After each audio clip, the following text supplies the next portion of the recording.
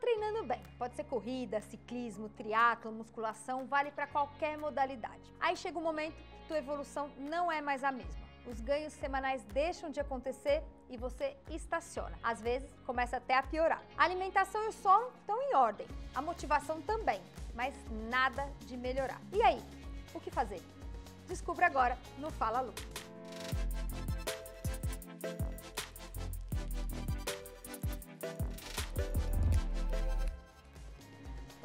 Sou Lu Haddad, médica livre docente pela USP. Trago aqui um conteúdo sobre saúde, qualidade de vida e esportes, sempre baseado na ciência de forma descomplicada. Não se esqueçam de se inscrever aqui no nosso canal. Além disso, sempre que possível, curtir nossos vídeos e também encaminhar para os amigos. Eu sei que isso é algo que vai nos ajudar bastante, já que tem muita gente que pode gostar do nosso conteúdo, tem muita coisa bacana aqui e ainda não conhece o canal. Então, o que eu peço para vocês, para que a gente possa continuar trazendo para vocês esse conteúdo de qualidade sempre gratuito, é que vocês nos ajudem falando sempre do Fala Lu. Vamos então pensar nesse caso que é o atleta, normalmente um atleta amador, alguém que pratica algum esporte, atividade física, que depois de um período de melhora progressiva não consegue mais evoluir. O que, que ele faz? Você acha que ele deve aumentar o volume? Tá treinando pouco? Aumentar a intensidade? Fazer mais força? Correr mais rápido? Bom, se você tem um treinador, talvez nesse momento ele coloque uma semana mais leve, uma semana de recuperação na tua planilha. Ou talvez você mesmo intuitivamente chegue à conclusão que já que nada melhora, é melhor tirar uns dias de folga do treino. E aí, como num passe de mágica, quando você volta, você está muito melhor e continua a evoluir. O que seria essa fase de redução de carga e por que, que ela pode fazer mágica no seu ciclo de treino? É isso que eu vou explicar para vocês nesse vídeo. Lembrando que isso vale para a maioria dos esportes, sejam eles aeróbios como corrida, bike, triatlo, mas também esportes de força. Vale até para o treinamento de musculação inclusive para quem busca hipertrofia. Eu acho, inclusive, que a turma do bodybuilding, a turma da academia, está bem acostumada com esse termo que eu vou falar para vocês agora, que é o deload. Deload refere-se a uma redução proposital da demanda de treinamento, que tem exatamente essa intenção de fazer aumentos progressivos, ou seja, ela te prepara para um novo ciclo onde você vai aumentar ou sua carga, ou seu volume, ou de alguma forma te fazer evoluir. Embora o deloading seja uma prática que é bem comum, tanto nas academias, para quem ganha força, como nos treinamentos de esportes aeróbios, pouco se sabe sobre essa necessidade aí de redução de demanda de treinamento em relação à ciência. Tem poucos estudos específicos sobre deload, por incrível que pareça. Eu fiz uma busca super aprofundada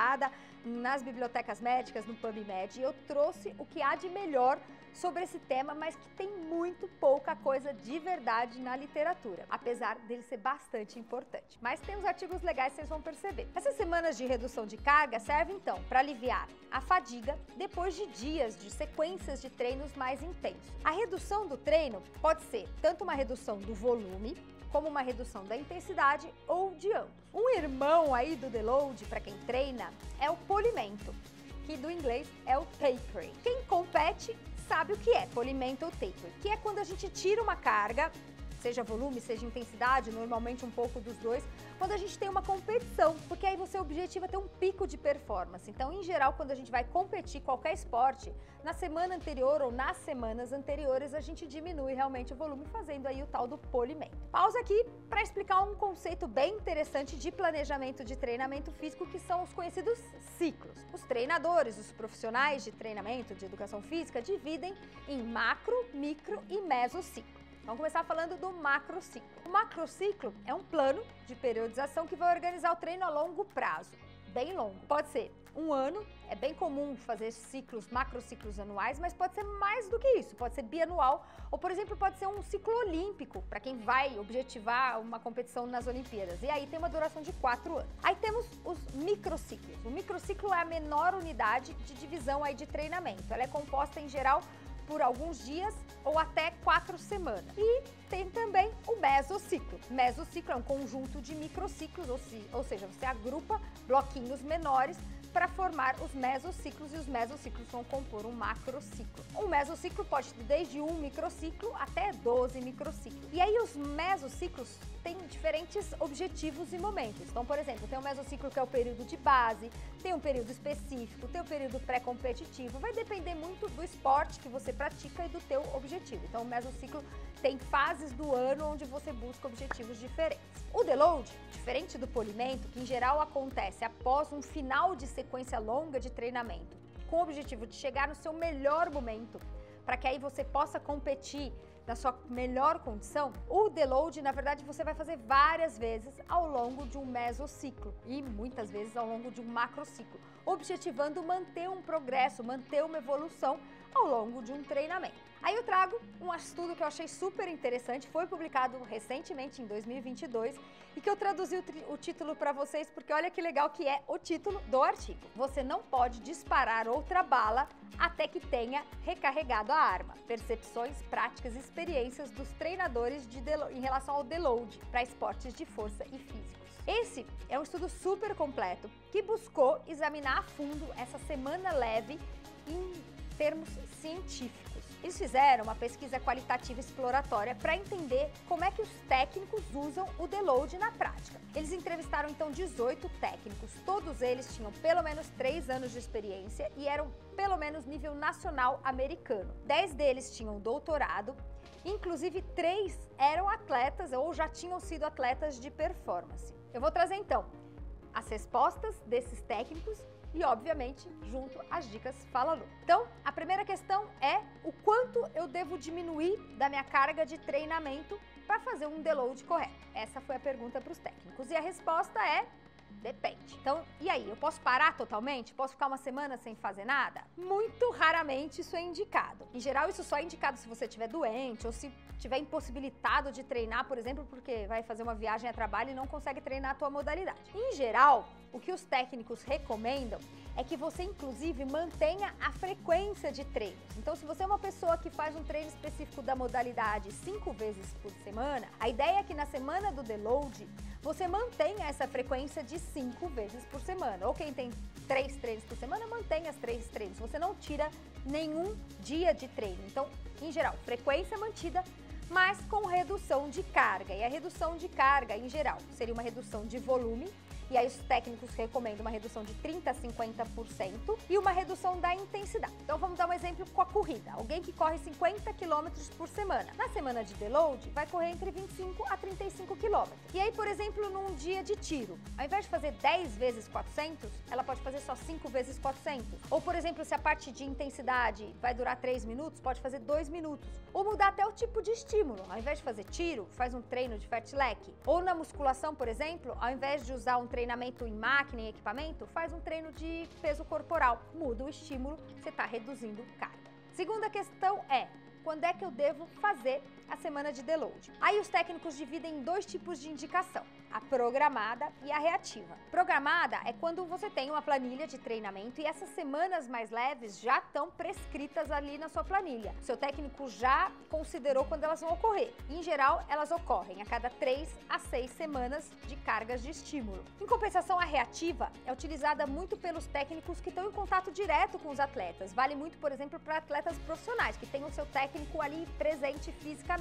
E aí eles acompanham a evolução dia a dia. Eles usam um monte de métrica para avaliar o quanto o atleta está cansado, está desgastado, está fadigado ou o quanto ele está evoluindo. E aí ele vai medindo aí na balança para decidir qual é o momento, quando o sinal, quando há sinais de que o atleta precisa de descanso e aí ele inclui o deload no treinamento. Terceira questão é quanto tempo eu devo fazer de dias mais leves. A maioria dos técnicos recomendam de 5 a 7 dias. E aí eles chamam de um microciclo dentro de um mesociclo. Então seria um microciclo mais leve. Mas tem bastante variação em relação a essa quantidade de descanso. Pode ser até uma sessão de treino, então o atleta só tira uma sessão num dia. Pode ser, por exemplo, um day off, que um atleta que não fazia, ele coloca um day off no domingo, ou acrescentar um day off. Ou pode ser até uma duração de duas semanas, mas em média de 5 a 7 dias. Vamos falar então agora, por fim, dos benefícios de fazer essa semana de deload. O primeiro deles é óbvio, evitar o overtraining. Temos vídeo aqui no canal sobre overtraining, vou deixar na descrição para vocês e essa é uma técnica muito boa para evitar overtraining. Segundo, evitar lesão por sobrecarga. Terceiro, melhorar a qualidade de sono, fazer uma semana dormindo um pouco mais.